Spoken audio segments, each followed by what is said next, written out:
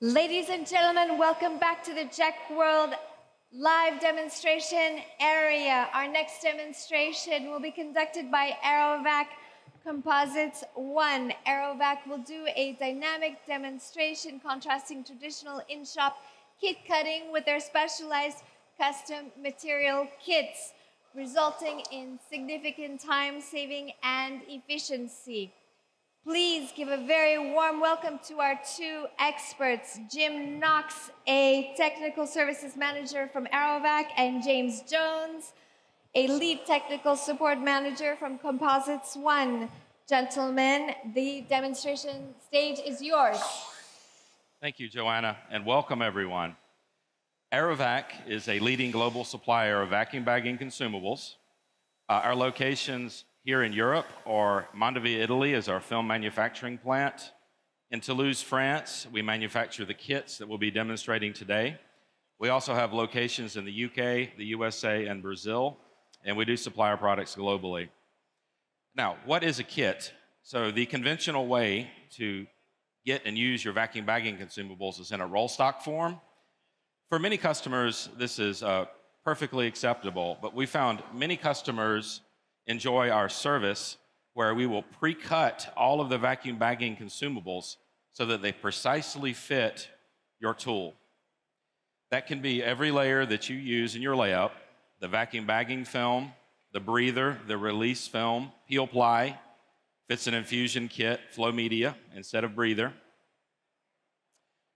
Our number one market where this service is most popular is aerospace but we have customers in automotive and marine and wind who also enjoy this service.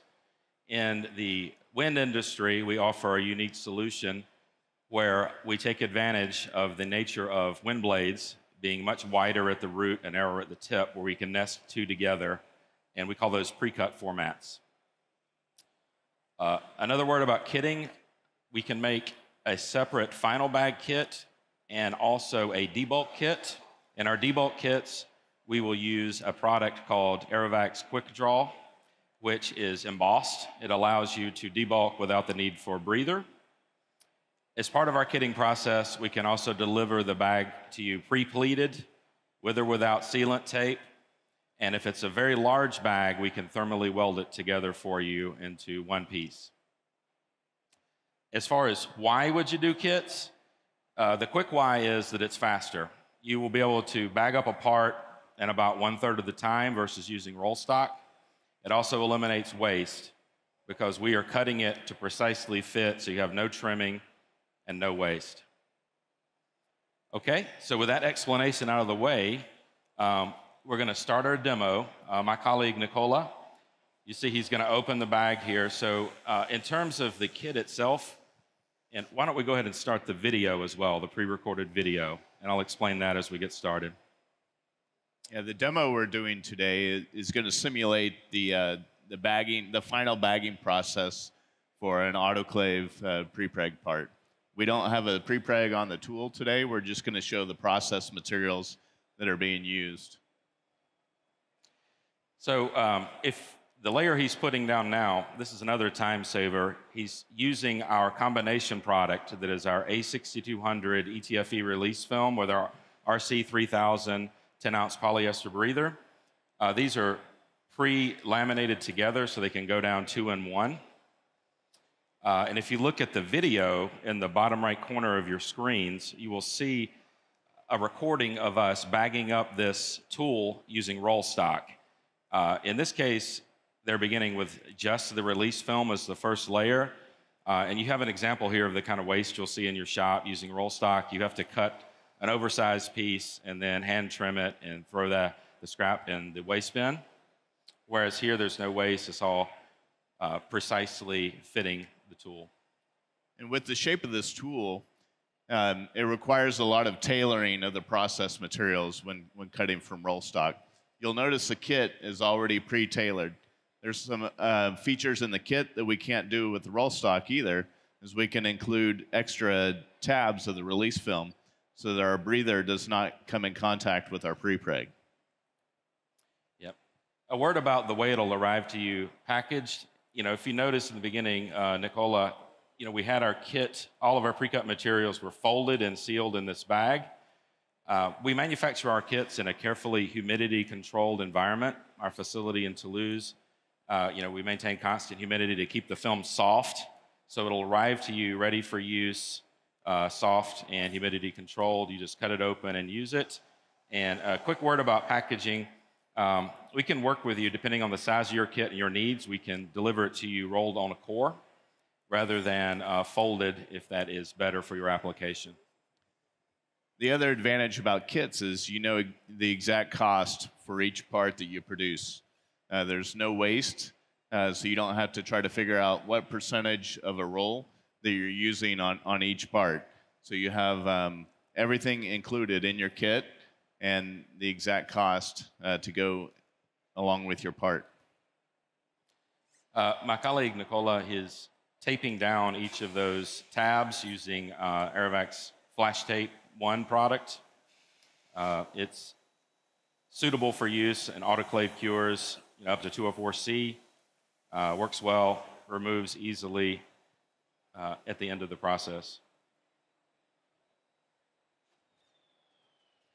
So if you notice on the, the inset video, they're still working on uh, cutting the, the release film to size. So Nicola has um, almost finished the, the release film and the breather layer, uh, while in the, uh, in the video with the roll stock, they're still working on the release film. And Aerovac has a full line of vacuum bagging consumables. So, you know, we can tailor the materials in your kit to your need. The weight of the breather, the thickness of the breather that you might need, we have a variety of release films suitable for different temperatures and applications. And we can work with the materials that are on your specification. Uh, you will find that Aerovac has many materials qualified to most major customer specifications. One of the things you'll notice in the uh, video with the inset is they're using a pair of shears to uh, tailor the material. You'll notice the only cutting instrument we had for the kit was to open the, uh, the poly bag that houses the kit. So now we're applying the, uh, the VacSeal 2042 sealant tape to the perimeter of the mold. VacSeal 2042 is a very good general purpose sealant tape. It's very tacky at room temperature. Uh, works very well in autoclave cures up to 204C and strips easily and cleanly at the end of the cure.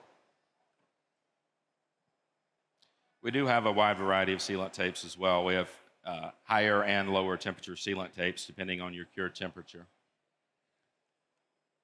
As far as the kit design process, we can uh, reverse engineer uh, your process material kits. Our technicians can come to your facility and, uh, and work with your operators to, to design the proper kit.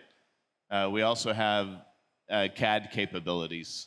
We have CATIA software where um, you can share your drawings in a, a secure environment and uh, we can engineer the kit from CAD drawings.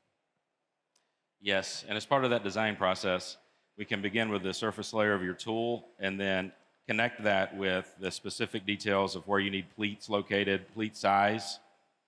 Um, we'll come into your facility and work with you, get those details to ensure we have it all in the kit design.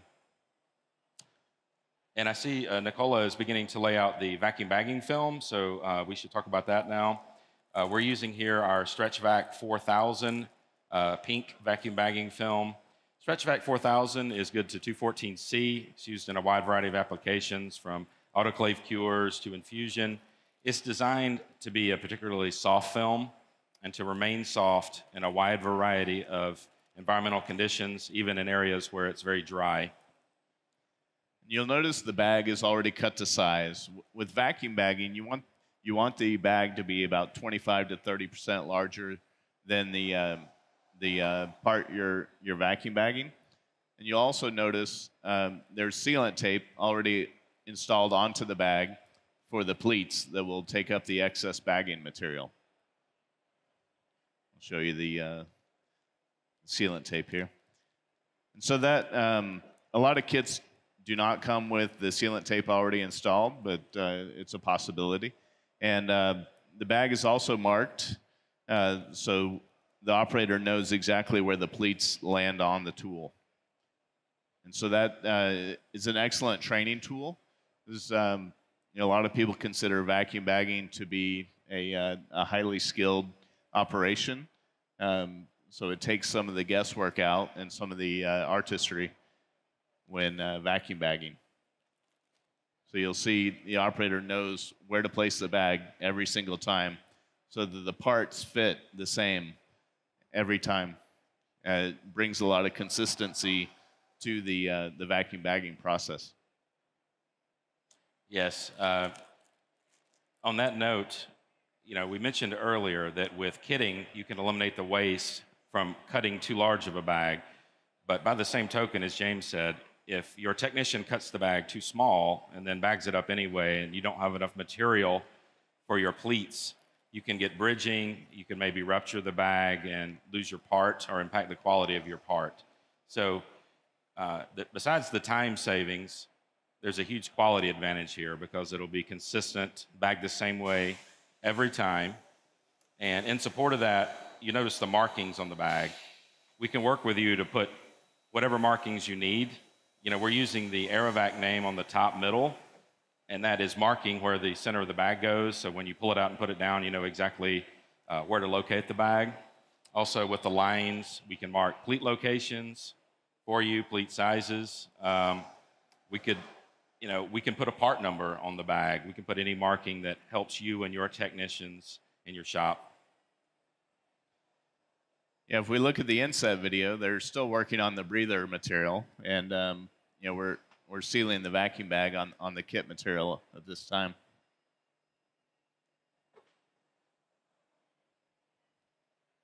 Yeah, yes, we we Usually the uh, kitting is about three times faster. It obviously depends on your specific tool, but there's huge time savings here.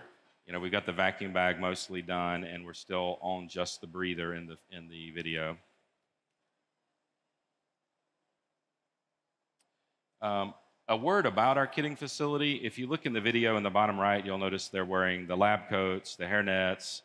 Uh, we do all of our kitting, not only temperature and humidity controlled, but in a very uh, FOD-free environment where we keep it very clean to ensure that there's no foreign objects uh, anywhere in your kitted solution.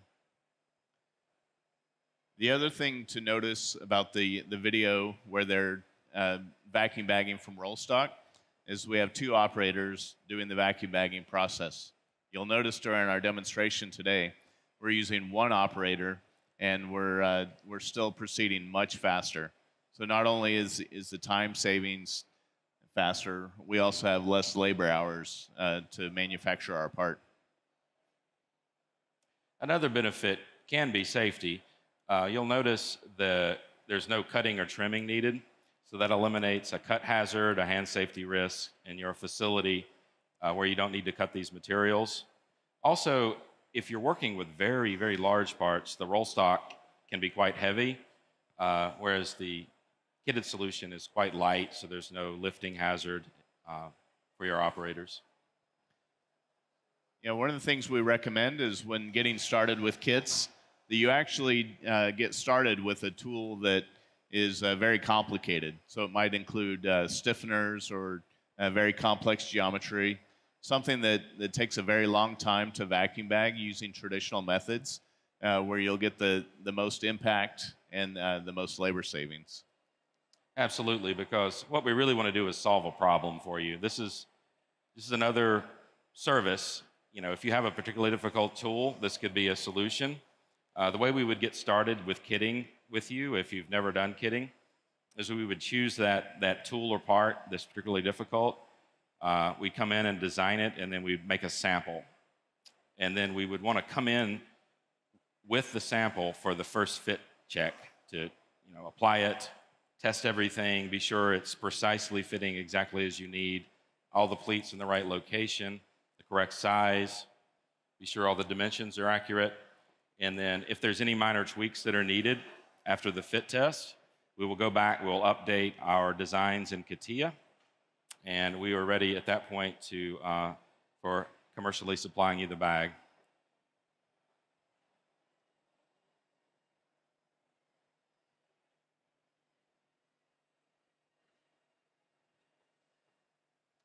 So on the inset video, they're just now starting to uh, measure and cut the vacuum bag film. Um, and we're, we're almost completely sealed here. Uh, Nicola is just uh, doing the, the final edge, I believe. And uh, one more, so two more edges. And um, so what he's doing is he's uh, sealing the center of the bag down and working his way out uh, to the, to the pleat to take up the extra bag so there's no wrinkles on the sealant tape and we'll get a very secure uh, vacuum tight seal.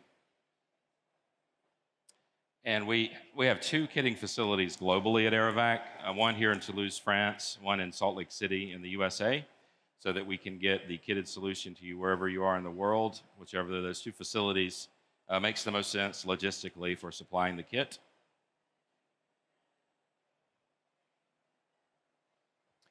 So on the on the uh, video from the roll stock, they're just now uh, applying the sealant tape to the perimeter of the tool, and you can see we did that on our kit several minutes ago, and um, you know there's only one and a half edges to go to seal the bag.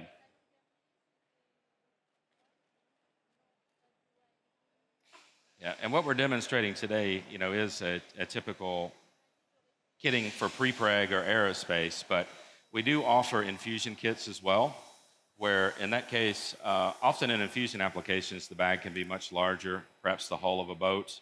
Uh, we can thermally weld or seam it together for you with sealant tape to provide the very large bag, and then we can kit your uh, flow media for your infusion, and also provide kitted uh, all of the vacuum line, feed lines, tubing, fittings that you need on a uh, per infusion basis as part of the kit. And Jim had also mentioned that we can uh, kit many different materials. So another material we might add to a kit like this would be a peel ply. So it would be cut to shape. You would have no fraying of the edges, and uh, it would go right down on the part, fit exactly how it needs to fit, with no wrinkling, uh, no frayed edges, no FOD. Yeah, speaking of peel ply, uh, as part of our kitting operation, we have a laser cutter, so it both cuts and edge seals peel ply and other fabrics. So we can give you that nice clean edge on your kitted solution with peel ply. And a word about the way we make our kits in general. For small and medium sized kits, we make them on automated cutting tables. So we design it in CATIA and then we load that into the cutting table. And it, everything is cut precisely and very quickly. So it's more efficient than doing it by hand. So by having us cut it for you on our automated cutting tables, we can take cost out of the total supply chain because we can cut it more quickly than you can, and then it's much faster for you to use in your shop.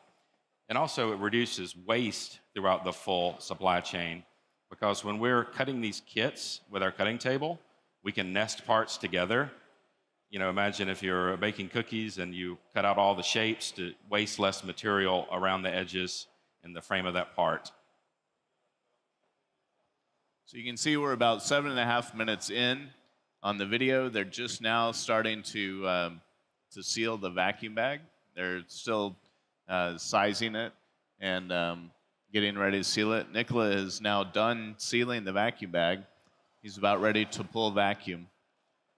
So you can see where, where Nicola is. He's um, installed part of the vacuum brake unit. That's how we uh, apply vacuum to our, to our vacuum bag.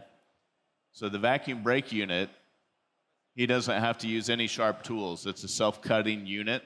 It's uh, the top part just threads into the, the bottom part that's already under the bag, and it pierces the bag as you thread it in. So we have our vacuum pump running in the back connect it with a quick disconnect fitting, and you'll see the bag draw down. They'll do the final placement, make sure there's no bridging, and um, you know we'll be ready to cure our part.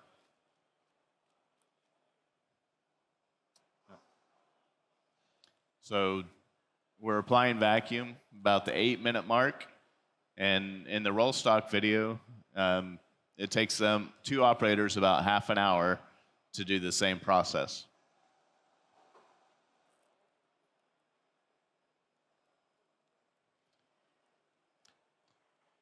So we're able to use one operator in about less than one third of the time to uh, vacuum bag the same part. And it's going to be the exact same every time because the materials are cut to the same shape. There's going to be no variability in the process. And a quick word about materials. We also have a full line of uh, vacuum bagging material as well, so we can tailor your vacuum bag to your temperature, uh, whether it's an infusion application or pre-preg. So we have vacuum bagging films designed for every temperature, you know, from ambient all the way up to 750F. Also, in our kitting facility in Toulouse, France, uh, and as well as our film production plant in Mondovì, Italy, we have perforation equipment to perforate the release film for you, a variety of patterns. We can include um, the correct perforation pattern in your kit if you as needed. And if kitting is not uh, the solution for you, we also have slitting capability where we can take our roll stock and slit it to the correct width uh, for your application to use as roll stock. I guess with that, um, we're ready to take any questions if, um, if you have any questions.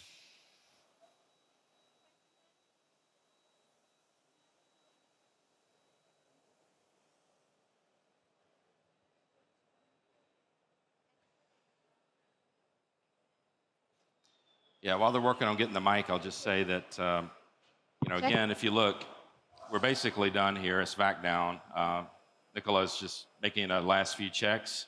So we're complete. Uh, took about nine minutes, I believe.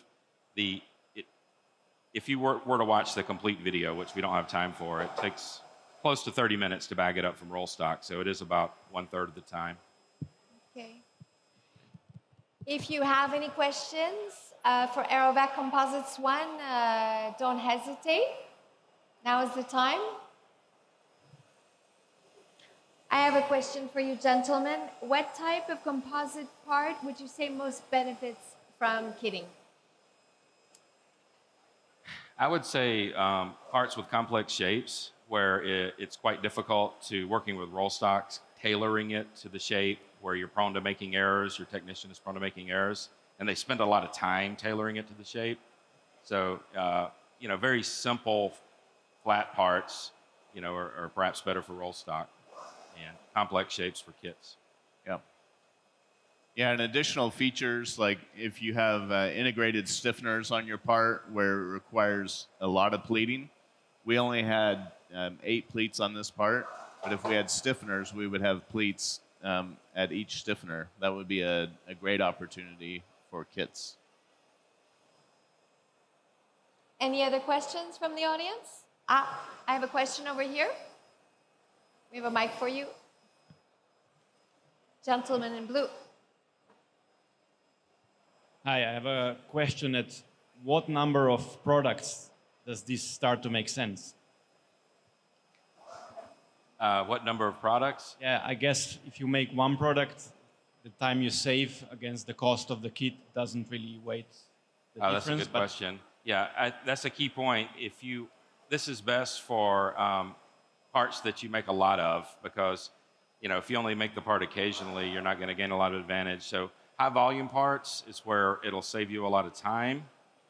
Um, as far as a rule of thumb, Yeah, it really depends on the the uh, size and the complexity of the part, all the materials that go into it. But you could uh, you could see savings with an an order quantity of uh, of ten or or more generally. yeah. Okay, thank you. Right behind you. Any other questions from the audience? One last question, gentlemen. Can you kit with materials specified by your customer?